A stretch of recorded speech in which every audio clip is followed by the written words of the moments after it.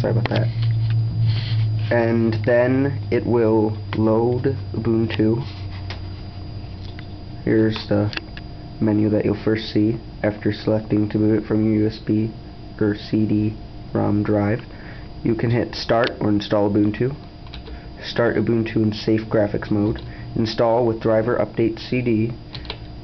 OEM install for manufacturers. Check CD for defects. Memory test or boot from first hard disk.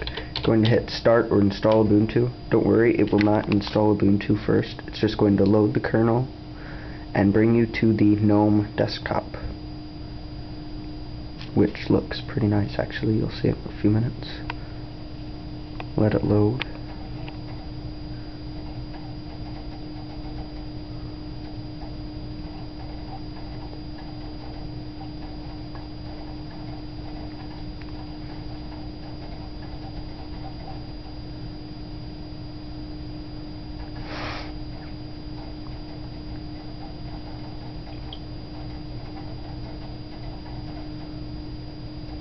This will take a little while because when you play it through a live CD it isn't as fast as going through your hard drive. It has to read it from the disk.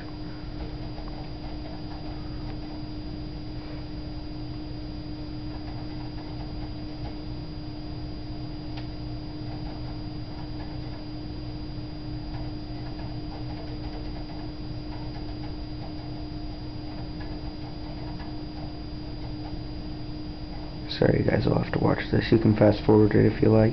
I can't stop you.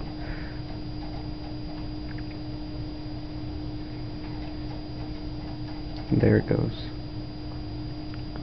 After it's read all the kernel information, it's going to start loading.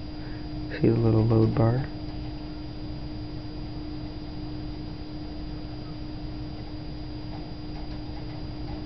Loading, and it's almost done. About three quarters of the way there.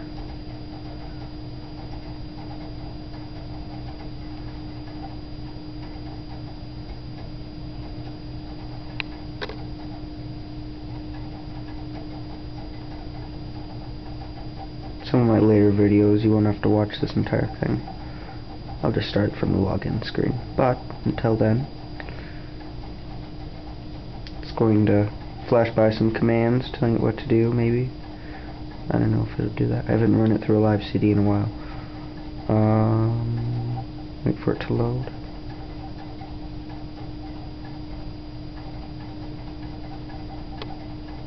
Goes. There's some commands.